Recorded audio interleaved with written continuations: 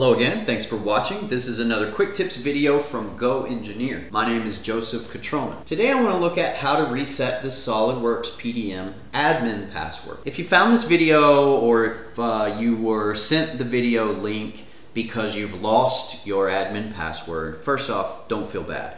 This actually is the top 20th most accessed article on the knowledge base uh, for some week in July of this year. So you're not alone, and we have a quick solution. The first important question to ask is what version of PDM are you using?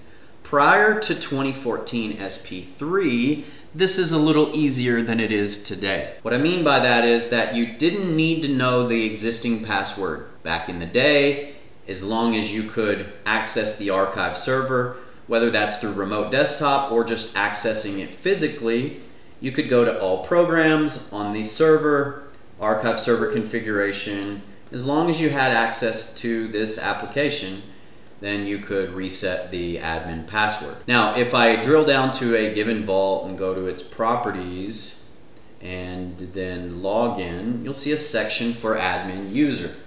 Now, if this box is checked, it means that your vault doesn't have its own admin password. It's using a global admin password. So in my case, all of these vaults are using that global or default admin password. So I can't change it here under the vault specific properties. I actually want to just go to the tools default settings. So again, global for the whole archive server, and there's a default admin user. So I can reset the password here. Now this is far enough if you're using PDM before 2014 SP3 you'll notice that you don't need, in the earlier versions, you don't need the current password in order to reset a new password. However, we're using a later version, so I'll need to take it a couple of steps further. I'll cancel here, cancel again, and just note that for my vault, is it using the default login or not? In other words, is this checked or not?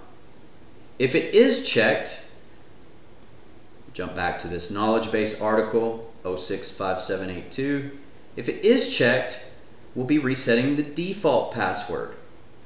However, if it has a vault specific password, that's just a different registry hack. So if you're not familiar with the registry editor, you can start by just clicking the start menu and type in reg edit. we want to see that in the programs there, right click run as administrator.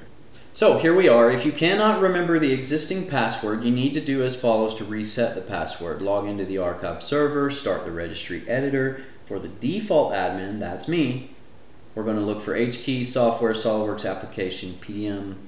Now I need archive server, Conisio users. Under that key, I'm going to delete the admin user under the following registry key. Delete the whole key value named admin. That's easy enough. Archive server, Conisio users, and I'm going to delete the entire admin user. Delete.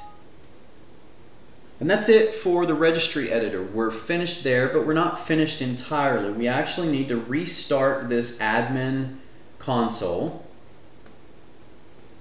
And the second time you're going to this tool, it's important to know that you can click on it from the start menu a thousand times if you like.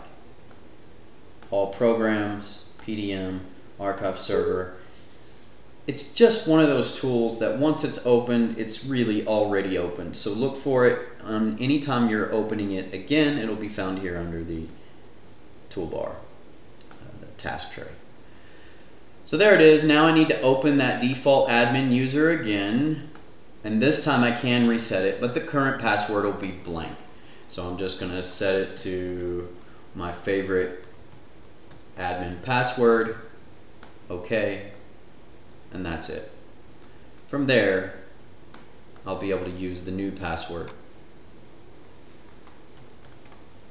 And that's it for this quick tip. Don't forget to subscribe and leave us a comment if you have any questions. Uh, actually, if you have any questions, feel free to give us a call or reach out to us, support at goengineer.com. Um, or leave us a comment here. Let us know what you think and what other videos you'd like. Don't forget to subscribe. Thanks again for watching. Bye-bye.